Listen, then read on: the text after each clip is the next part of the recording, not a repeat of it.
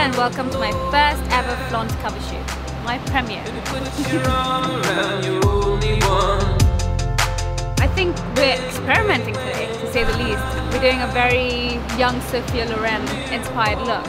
I, I never thought this short hair would actually make me feel sexy, but there's something very cool and carefree about short hair, so it automatically makes it more sexy when you're not fussing over it.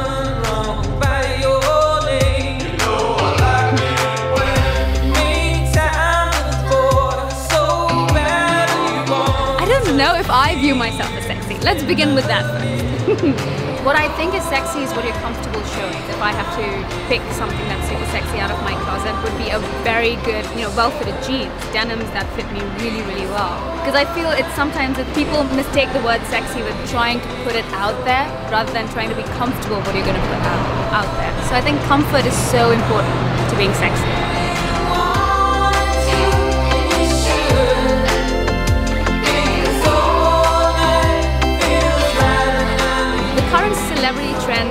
Ruled by social network. I can't say much about it because I'm not on Twitter, I'm not on Facebook, so I don't know how it's done. Hollywood is what you make of it, as plain and simple as that.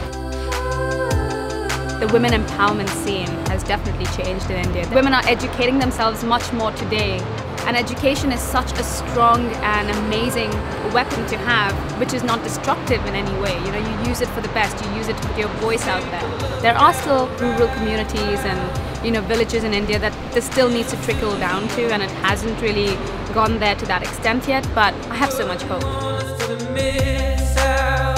I think I'm a mix of both tradition and modern as well.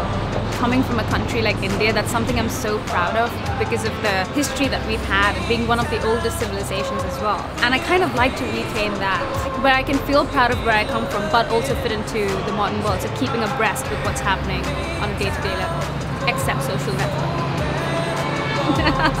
Thank you so much for joining me in Malibu at my Flaunt photo shoot.